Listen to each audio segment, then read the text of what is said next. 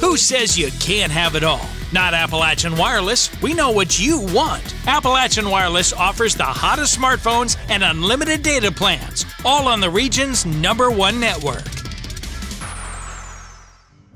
Excitement is in the air this week in Prestonsburg as finishing touches are being finalized for the 2018 summer season of the Kentucky Opry. We have a lot of new faces with the Kentucky Opry Junior Pros as well as the Kentucky Opry.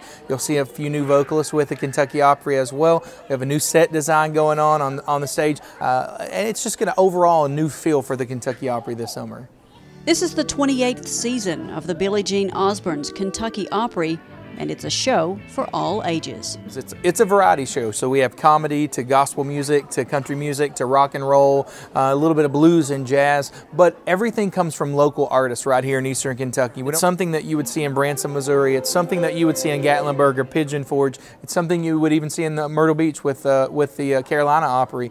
But the Kentucky Opry offers one thing in particular you won't see anywhere else in the world. Uh, Monroe is going to be out this year. He's got some new things going on, lots of new material. I took a picture last year, Fairdale out there, you know, right in front of the Hollywood sign. Really? Yeah, all you could see was an H and a D. The show also features the Kentucky Opry Junior Pros with performers as young as five years old.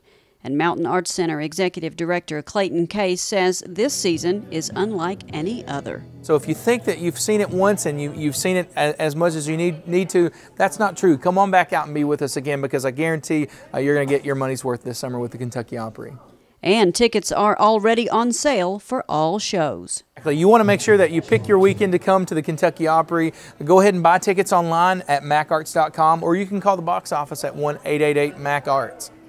Kentucky Opry shows are every Saturday through mid-August at 7:30 p.m.